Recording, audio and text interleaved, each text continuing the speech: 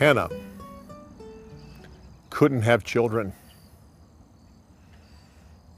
This, this tormented her so much that she went to the tabernacle and asked God for a child. She prayed, Lord, if, if you'll give me a son, I'll give him back to you. And, and, he'll serve you for the rest of his life.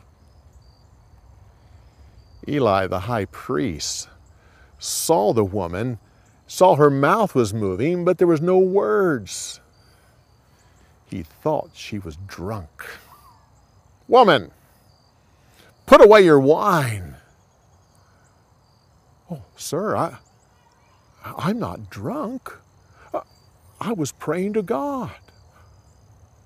Oh, oh, um, uh, then you can go your way. Uh, the, the Lord will answer your prayer. And it was true. Less than a year later, Hannah gave birth to a baby boy, called his name Samuel, which means God heard me. When the boy was old enough, Hannah took him back to the tabernacle, said to Eli, I prayed and asked the Lord for a child, and he heard my prayer. And he gave me a son. Now I'm giving him back to the Lord, and he will serve him for the rest of his life. Eli gave Samuel work to do in the tabernacle. And as the boy grew physically, he also grew in good favor with people and with God. But Eli's sons were just the opposite.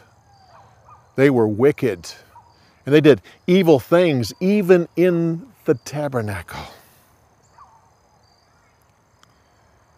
One night when Samuel was sleeping in the middle of the night, just before morning, the Lord said, Samuel, Samuel. Samuel woke up and thought it was Eli, so he got up and went down to where Eli was sleeping and said, Here I am.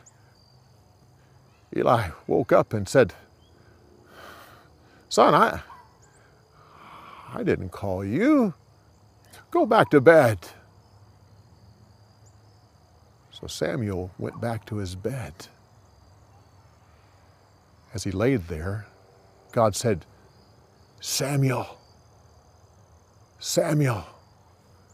Well, this time, Samuel knew he wasn't dreaming. He got up and went back to Eli and said, uh, well, Here I am. Eli said, Samuel, I, I didn't call you. Go back to bed. So Samuel once again went back to his bed. God said, Samuel, Samuel. Well, at this point, Samuel didn't know God. The Lord had never spoke to him before. So he did the only thing he knew to do, and that was go back to Eli. Here I am because you called me. Well, by this time, Eli knew what was going on.